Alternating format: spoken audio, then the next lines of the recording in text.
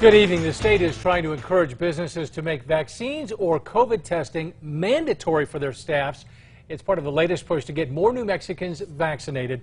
We're almost a week into the latest cash offer for New Mexicans to get the shot. News 13 Stephanie Chavez took a look at the numbers to see if the new $100 incentive is making a difference. Stephanie. Yeah, we spoke with someone this afternoon who received his vaccine at a UNM shot clinic. He says the 100 bucks the state is offering persuaded him to do it. Hell yeah, hundred bucks. I mean, I can get a lot of things with hundred bucks, so I'm good with that. Thank you. That shot clinic today at the Student Union Building at UNM was open to the public. According to the state's vaccine dashboard, from Monday to Thursday, nearly 17,000 New Mexicans have gotten a first or second shot or single shot J&J.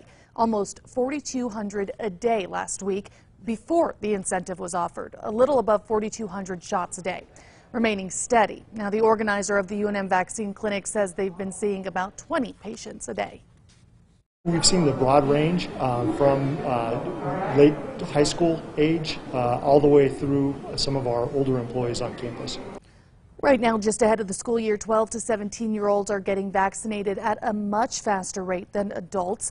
According to the PED Toolkit, vaccinated students exposed to COVID 19 who don't show any symptoms do not have to quarantine. Back to you. All right, Stephanie, thank you.